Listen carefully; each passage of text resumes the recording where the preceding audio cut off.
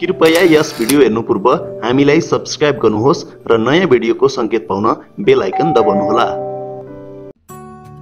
दर्शकबिन नमस्कार।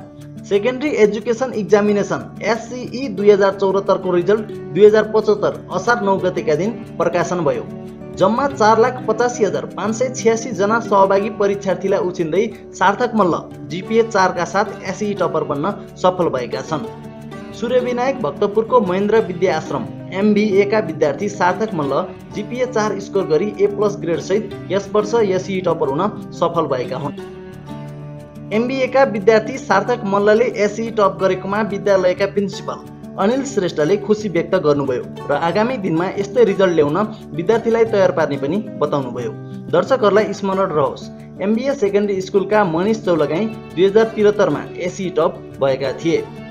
एसी दुई हजार चौहत्तरका टपर सार्थक मल्ललाई रिभ्यू प्रोडक्सनको तर्फबाट बधाई तथा शुभकामना।